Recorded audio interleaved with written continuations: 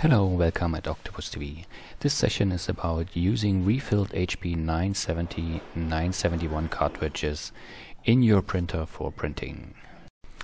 To make your printer work with uh, refilled cartridges, you need to have, beside the starter cartridge set, one additional set of HP 970 HP 971 cartridges. Without that additional cartridge set, the situation is that when you take out the empty cartridge of the out of the printer and you refill it directly after that and when you have it refilled you try to set it back into the printer you're not going to be able to print as the printer remembers the serial number of that cartridge and the printer still assumes that that cartridge is empty.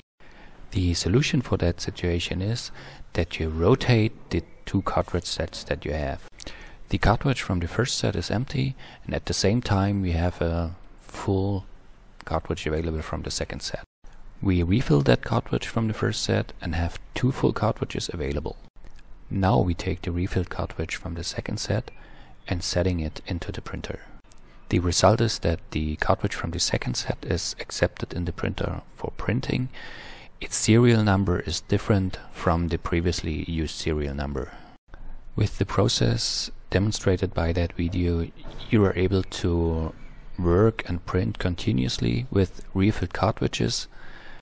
If the cartridge from the second set turns to be empty, you use the cartridge from the first set after that and so on. Okay, thank you very much for your time. Please pay also attention to our other video material related to refill HP 970, HP 971. We are looking forward to your comments, questions and likes.